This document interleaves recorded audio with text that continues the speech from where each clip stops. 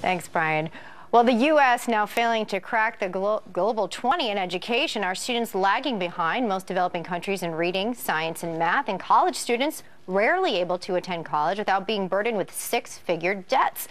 But our next guest says he has the solution, and it's technology. Joining us now is University of Tennessee professor of law Glenn Reynolds and the author of The New School, How the Information Age Will Save America. American education from itself. Welcome and good morning. Nice to see you. So obviously, you know, I think we all look at the issues with education in this country, and the numbers at times aren't good. What is the main problem in your mind? Uh, it's costing way too much, and it's delivering way too little. I mean, that's uh, from kindergarten to graduate school. Uh, we're spending a fortune, and the results we're getting are actually getting worse, if anything. So, what's the solution?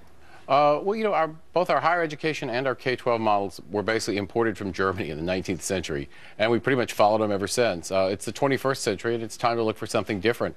Uh, more of a sort of customizable approach where your education has more to do with what you're good at and how you learn, rather than trying to hammer square pegs into round holes. So you say technology is the key to that. It will be the instrument in making that customized education. How so? Right. Well, it's not just giving every kid an iPad because iPads are cool, but uh, it, it's more about how you use the technology. And uh, for example, we have these flipped classroom models where the boring lecture part that usually would be done by the teacher in the classroom is instead watched on videos by the students at home, and then the homework and the problems are actually done in the classroom with the teachers there to help and explain things.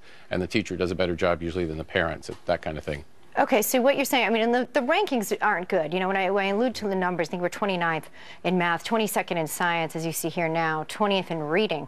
Uh, that stands to be improved. Uh, it, it's not hard to, there's a lot of low-hanging fruit, I think. But when you say uh, the cost of education, when you talk about college education, I mean, the debt that follows, and now without the hope of a job, and the reality of a job waiting for you on the other end, I mean, many are considering whether to attend or not. Um, I, am wondering, though, if the, if the kids are left at home with technology, um, that's assuming that there's a parent there that's assuming that they get out of school at 2.30 or 3 or 4 and someone's there to actually coach them through and monitor them in terms of safety. What There has to be an approach to really uh, the whole of the student, correct? Not just well, take them home with the tech and let them learn math. Oh, that's that right. And, and, I'm not saying there's like one magic solution where every kid gets an iPad and does online classes. I think actually what we're going to see is not one big solution, but a lot of different smaller solutions that are different for different families and different kids and different needs. I mean, we live in an era where you have 900 kinds of shampoo. Why should we have one kind of education? That's interesting. And I mean, look, kids are interested in tech. Are you? Is, does a lot of this have to do with interest and keeping their attention? Are they more apt to read and do math on a bit of technology than on paper now?